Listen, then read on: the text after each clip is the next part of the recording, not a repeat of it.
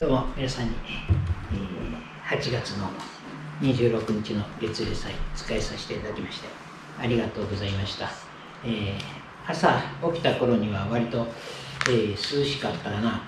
と思って今日は良かったなと思いましたらちょうどお昼食べたぐらいから外を見たら大変明るくなっておりましたからああこれはまた大変だなと思いながら、えー、ここずっと高橋の方は、えー、熱中症アラートいうんですか危険というのが出ておりますからまあこの暑い中ですので少々お話をしたらもう終わりにさせていただこうかと思っております。で今日は、えー、取り次ぎという話をちょっとさせていただいて、えー、終わりにさせていただこうと思いますんで。まあほぼ3時前には終わると思いますのでちょっとだけ、えー、で、えー、取り次ぎというのはこう金光教ではこう金光教とは言ってまあどれたくさん日本の中には宗教があるわけであの金光教とはどういう宗教ですかと言われたり金光教は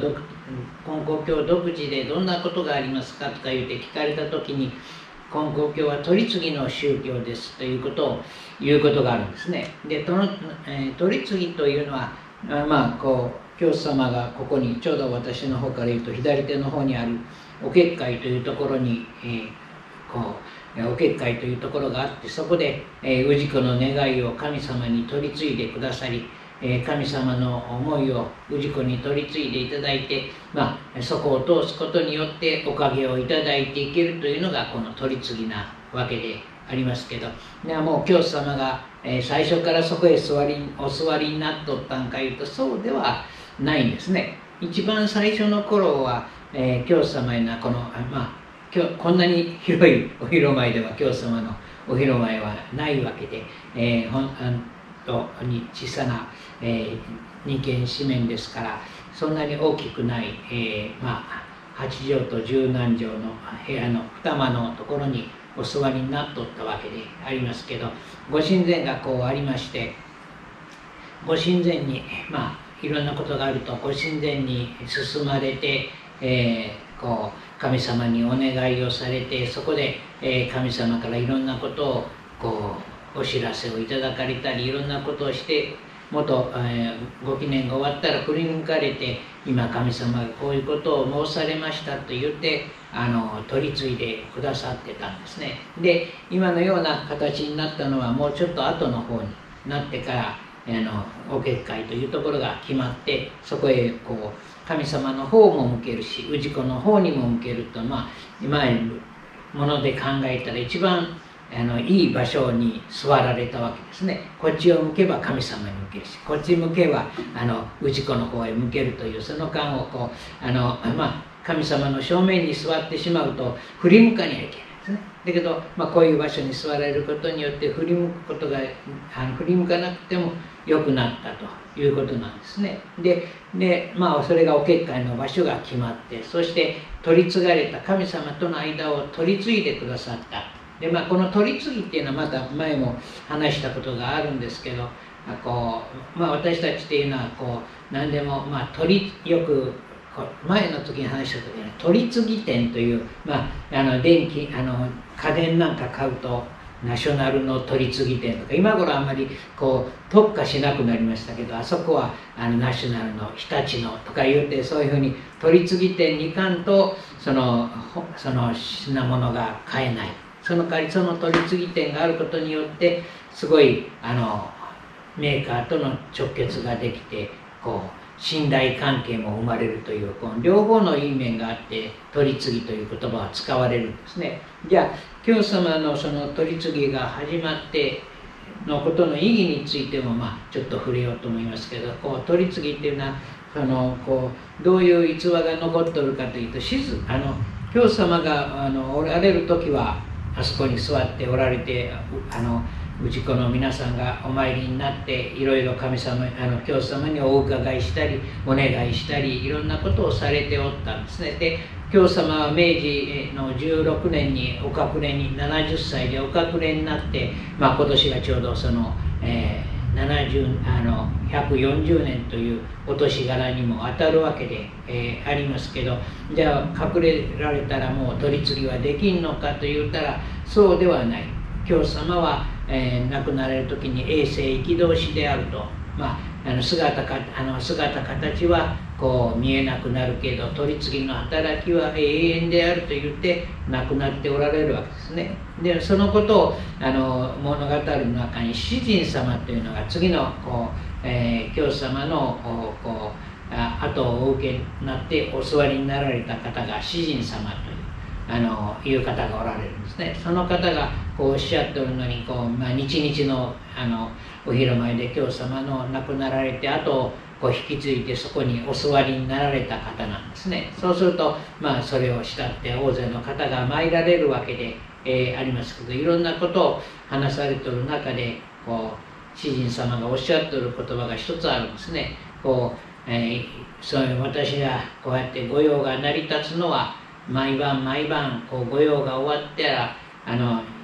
教師様が出てこられましてそしてこのまあ神様に届けるためのお届け帳というのがあるわけですね。そのお届け帳に書いてるのをめくって、えー、あの教師様がお願いしてくださいますんで私の御用が成り立っておりますって言うて言われる言われたんですね。でその姿は誰も見たこと 教師様が出てくら来られた姿は見ておられないからああ出てこられましたなっていうのはないわけですけど。そうやってあの教師様がこう出てきてこうお願いをずっとしてくださっておるからあの自分の御用がこう何事もなくあの引き継いでできておるんですって言うて、まあ、教師様が亡くなられてもそういう取り次ぎの御用というのは教師様がしてくださっておるんだと。でこういうのが一つあるんですね。それからまた昔からこう私たちが言われとったにお広間というのは競争広間への延長であると。だからまあ競争、まあ、俗に言う師匠ですね。ですからあのあの本社があって支店があるみたいなもんですね。でそれぞれの支店のところに行って教様はがあの私たちは教本来は教様がお座りくださったんですけど教様はあのおられる時は、えー、体は一つしかありませんから、えー、おられるわけはいかないでも教師様がおられるのと同じ働きが出ていくできていくんぞと言うてあの言われている。だから延長と言われる言葉を使われたりする。あるいは、え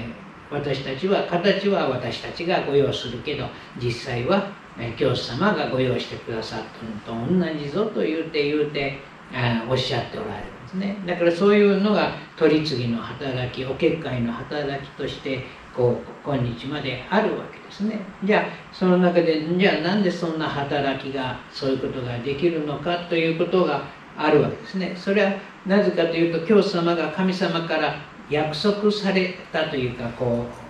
うのがあるんですね。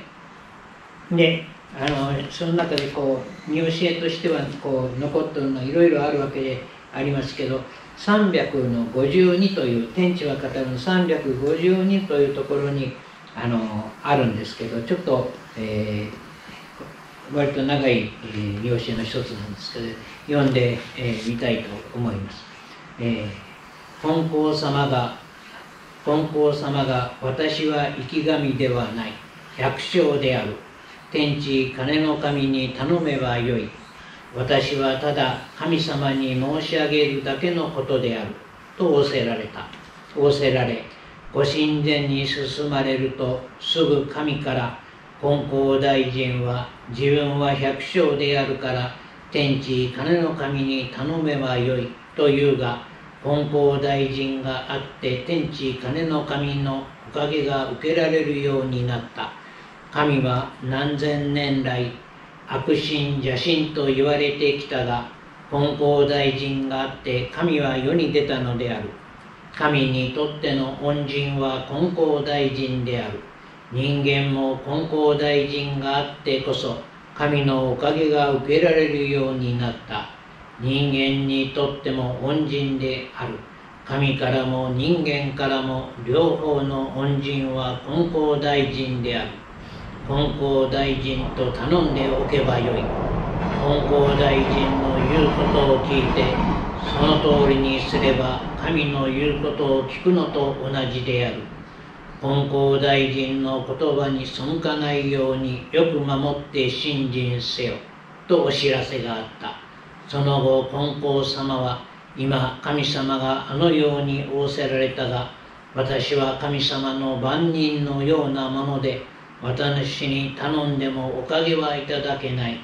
どうであろうとも天地金の神と一心にすがれよ。と仰せられた。すると金光大臣はあのように言うが金光大臣にすがってい